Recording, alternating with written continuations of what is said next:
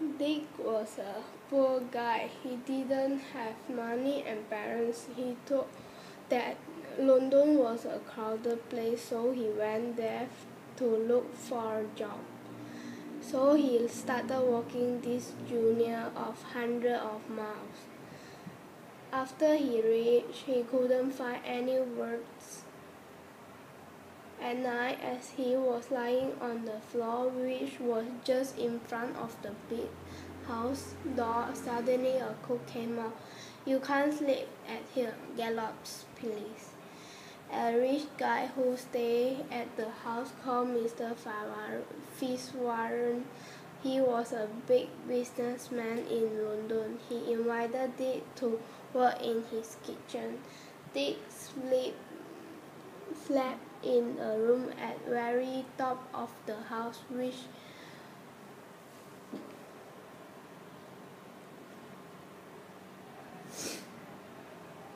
which was only big enough for Dick bed. However, there were a lot of rats and mice. He couldn't sleep well, so Dick considered to adopt a cat for catch all the mice and the mouse. The next day he went to shop to look for a cat. That night there wasn't any mouse and there wasn't any mouse or mice around distant Dick. This was so happy because he couldn't sleep. He could sleep well. Mr. Fitzwarren had a daughter who called Miss Alice. She was a pretty girl. One day she told Dick that her father had a lot of sheep and he sold goods to rich people too far away.